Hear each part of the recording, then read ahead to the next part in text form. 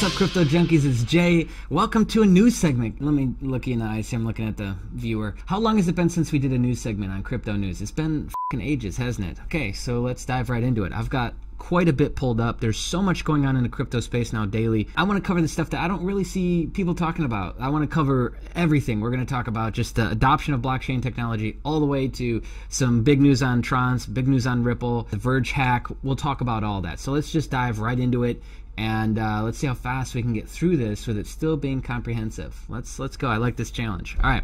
So on the screen, you see it. Let's start at the very beginning. Bank of America is adding to its growing list of blockchain patents. It has a lot so far. How many? Does this article actually mention how many? Previously existing 15. There's 20 new. So they drew up an additional 20 new cryptocurrency and blockchain patents. So they now have 35 blockchain patents, which is very, very interesting. So that's just another example of the one side of it where they are the banks, the government 100% supporting blockchain technology. On the other side, we get the mainstream media, which is like what you see on the screen. The Federal Reserve put out a report. First off, why would you trust the Federal Reserve? It's basically a bank. That would be no different. It's the United States' largest bank, okay? The Federal Reserve is not owned by the government. The Federal Reserve does not give a about you, and the Federal Reserve's job is not the public, is not for the people. Okay, it was drafted up in 1913. Go research the Federal Reserve. Just drop that breadcrumb for you for those who want to fall down the rabbit hole a little bit. They put a hypothetical value of $1,800 on Bitcoin. Gee, thanks, guys. Thanks so much, bud.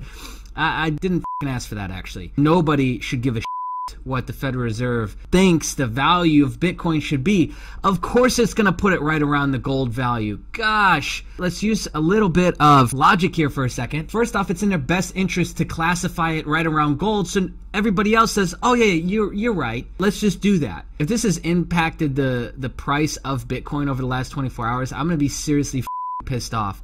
Guys, I don't know how to say this nicely. The Fed is bull they are going to try and put this into the same class as gold for their best interest. The dollar is no longer backed by gold. That was chopped off and ended in the 70s. The Federal Reserve no longer gets audited. So there are trillions of dollars that just get printed and there's no accountability for it. Blockchain technology and what we're all fighting for is the exact opposite of that. Don't let this affect your opinion. If you do, I'm sorry, but you're an idiot, okay? And you probably should not be in the cryptocurrency space. Just the nicest way I can put that. This triggers me, as you can see, because all this is garbage. It's utter garbage. What they're going to say in it means nothing. Next, Zimbabwe's largest crypto exchange, Golix, is attempting to sue the central bank. I like it. Over trading ban. So here's what we all have to realize. It's simply because of conditioning and now it's just widely accepted belief, but the central banks in any country do not dictate anything but because we've allowed them to dictate price and inflation and interest rates, they do. So here's another prime example of the people trying to stand up against central banks. Like I said, central banks do not dictate value, price, cost, inflation, but we allow them to, so they do it, all right? Zimbabwe's largest uh, cryptocurrency exchange is going to challenge that. They're going to say, hey, wait a second, actually, uh, no. and I like that a lot. So we'll see what happens over this. But the trading bans in uh, countries outside the U.S., this has all been happening over this last six months. If you've been on this journey with us since, say, October, maybe even before then, throughout the Middle East, throughout Asia, trading bans, going to court, new regulation, new three letter agencies, and support towards, hey, how do we regulate this, has been happening, okay? Okay, next, let's talk some more good news. We got Ashton Kutcher with Guy Oseary Guy Oseary, I don't know how to pronounce it. Uh, they own a fund, a startup fund, and they have uh, been investing into Ripple. And so they surprised Ellen DeGeneres today. A very inspirational little piece. And they donated 4 million Ripple to Ellen DeGeneres' wildlife fund. She's about to go to, I think it's South Africa. And she's taking the next steps to once again help and give back, which I think is great. I believe that once you get to a certain level of richness or wealthy, uh, you start to give back. Some people do it sooner than others, but it's kind of one of those things that just automatically happen. Nice little inspo piece. Once again, gets crypto mainstream on a TV show with moms and middle aged women who really don't know what's going on with cryptocurrency, would be my safe assumption. But they've got a lot of what? Time on their hands because they're stay at home mom, they're they're doing their thing with the kiddos, and so this is great. This gets them, hmm, what's Ripple? Gets them googling around, gets them trying to figure out what just happened. and of course, like, unless you're living under a rock, the process that they did, they just pushed a button to send the money. People like that. People like easy. If you can make it easy enough, usually outweighs the fear that people have with adoption, right? So mass adoption on technology happens when the excitement barrier and the plus side barrier outweighs and dwarfs, engulfs the uh, negative side or the fear side of it, right? So another opportunity for that to happen you know, a lot of these people in the audience, they love Ashton Kutcher, they love Ellen DeGeneres, so they're seeing them use the technology. There's so many different subliminal things happening in just a segment in a TV show like this. It's it's big. Then it gets shared around on social media. Right now, it's got 250,000 views, 1,200 retweets, and 7,000 likes. This will drum up some action, some crypto action. So, still hasn't affected the price. That happened, that dropped yesterday. It's the 24th. So we've been on this for about 12 hours. It kind of affected Ripple. These are 15 minute candles. Maybe somewhere around here that might have started. But then you see we're still retracing down on Ripple. But it's good news. It's really good news. Now let's talk about Google trying to hire Vitalik Buterin. Buterin? Buterin? Buterin? I can never pronounce his name. If you're in a Discord, you guys know that. For some sort of top secret crypto project. Yeah, at first people thought this was kind of like BS. He was just making this up but apparently it's real. I really don't see Vitalik doing something like that. He's pretty glued to the uh, Ethereum project, but um, just interesting, interesting piece of news. So let's talk about Coinbase acquiring Paradex, which I hadn't heard of before, but it's an international exchange. So the reason why Coinbase would make a move like this is because Coinbase owns GDAX, right? But they're very slow to release pairs because they're based out of San Francisco. So the cryptos that they release and list have to be passed through some sort of approval process. I'm sure the SEC, the FCC has to look at it.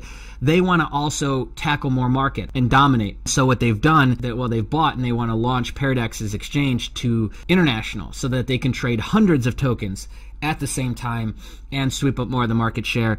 I see this as a relatively bad thing, even though I think most people just look at it and be like, oh, okay, whatever. The whole point is decentralized cryptocurrency, right? We're going to have to keep our eye on Coinbase because collectively they're acquiring a lot in the background. They are very much acting like a Facebook or a Google.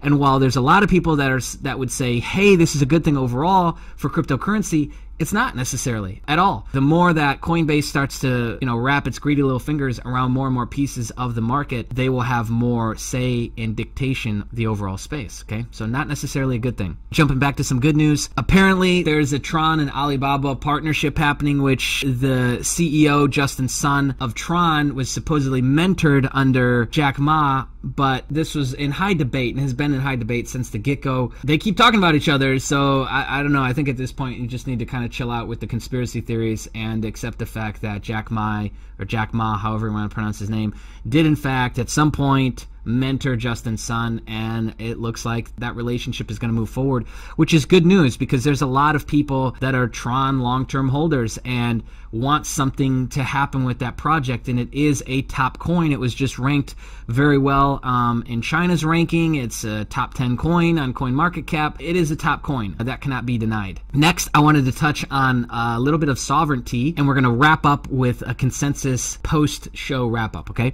I wanted to touch on this really quick. This is actually an article from back in January of 2018, but it's a topic that is getting more and more steam. Okay, obviously, the Fed's valuation of what Bitcoin is worth does not really mean. It's not going to go down to $1,800. It's not worth $1,800. Let's talk about how do you get your Bitcoin out. I shot a video talking about hyperinflation. Uh, I think I called it Eyes Wide Open. That is going to trigger and poke a lot of people's beliefs. A lot of people are going to get butt sore over me talking about those things. But in a, I like to play around with all scenarios, assuming that one will eventually happen. And one of those scenarios is that in hyperinflation, obviously, people run to crypto. And then the exchanges start to tighten up. And then what do you do with your crypto? How do you get it back out? Well, you would be looking to move your crypto and your insane amount of gains that you would incur without taxes or low taxes, low fees, whatever you want to call it, low taxation. The way to do that is gold and silver. Now, I'm not 100% sure how that would work in the United States, but in the UK, in a lot of parts of Europe, because of how the asset class of gold and silver itself, you can get out tax free ish. And that is huge. I don't know why more people aren't talking about that but that is a big play. I can almost guarantee that it is a better play than the 35 to 40% taxation that you face if you just move it back out of an exit exchange, especially for my U.S. residents and U.S. citizens. So this is something you might want to look into. But Gold and Silver has a how-to guide on how to do it on their website. But for those of you who are in the opportunity for Mint Builder with us, you can do the same there and there's a lot of people in the UK right now moving out their crypto $10,000 a day, $10,000 a week into gold and silver because that you can just take and cash out in a store once it's converted from crypto into the other asset class, which is uh, precious metal.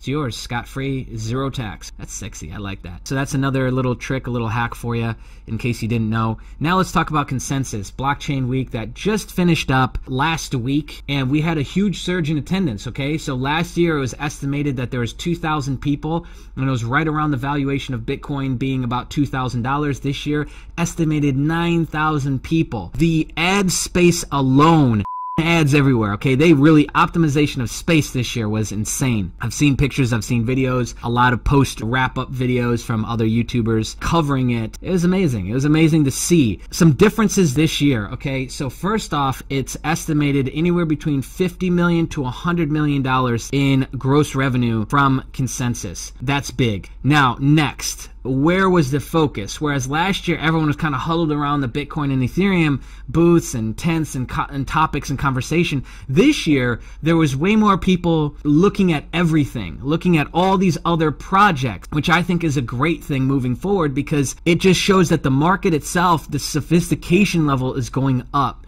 So it's no longer just like, let's hoard onto these top two. Let's really look at the wide application of blockchain technology, decentralized ledgers, in the overall space and how that's going to affect the whole world. And that's great to see it kind of go from this to this this year. But what do we have to look forward to next year? I mean, it's going to be insane what next year will look like if we were to extrapolate the overall attendance and the overall size, the overall money made it should be even crazier next year. I just wanted to mention that because I think overall this is a really positive thing. There's a lot of amazing projects going on. I can't possibly bring those all to you, can't bring them all to the community. There's a lot of other channels that do, and there is some overlap, but overall, you should have your feelers out looking around for unique ways that people are applying blockchain technology, decentralized ledging, decentralized overall exchanges a store of value for different things that we have and how it's re-energizing kind of old areas and stagnant markets okay? It reminds me of when we thought the uh, the study of the eyeballs was completely capped and that we had studied and learned everything that we needed to know. What is that uh, ocul- oculates let me just google it really quick hold on. Okay optometry. So ophthalmology. Ophthalmologist gosh, is that right? There was a point where they thought that they had completely studied everything in ophthalmology, and then they realized that they hadn't, and they reopened the field. They actually closed, it was the only scientific field in history that they closed down and reopened. Fun little fact, okay? I don't know how or why that just hit me like that, but, anyways. I think that uh, blockchain and decentralization is really starting, just that thought is starting to take over and spread like wildfire. And I'm really fascinated to see where that's going to go and take us. That's all I got for you today. I hope that you walk away from this a little bit more uh, educated. You got some knowledge. You got some little sound bites and drops for your friends in your uh, circle of influence today. And uh, be on the lookout because we'll be dropping more videos on the channel very soon, my friends. See ya. What's up, junkies? You'll notice that some time has passed. This is different in the background, and we didn't talk about Verge in the video. The reason why is because I found a couple really, really great articles talking about the fundamental issue at hand, and I wanted to shoot a solo video for that. So be on the lookout. It'll get dropped on not the Crypto Jay channel, but the Crypto Junkies channel, most likely, because I got two uploads hitting today, and I don't want to take away from one or the other. So news segment will hit on Crypto Jay. Crypto Junkies will have the Verge story dropping and all the details about the hack. If you like what we're doing on the channel, take a second, hit the subscribe button, click the bell notification. This just in. Crypto Junkies is now over a thousand over people. 2,500 We now have people. over 3,000 4,600 have crossed over 5,000 people in our Discord chat community.